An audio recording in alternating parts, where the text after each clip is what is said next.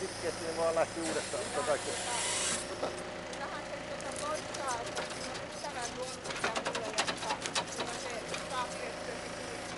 Tässä on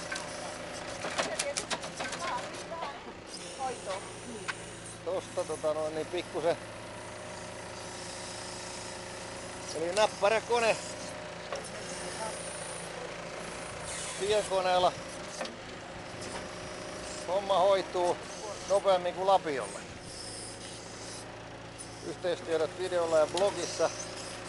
Maksu käteisellä ennakkomaksu ja sitten kun homma on hoidettu, niin viimeistään eräpäivällä heti.